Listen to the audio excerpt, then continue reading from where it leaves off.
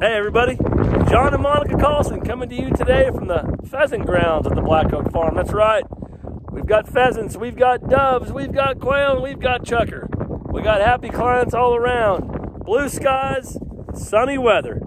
Check out, you don't need to go to South Dakota to come shoot pheasants. Southwest Oklahoma is the place to be.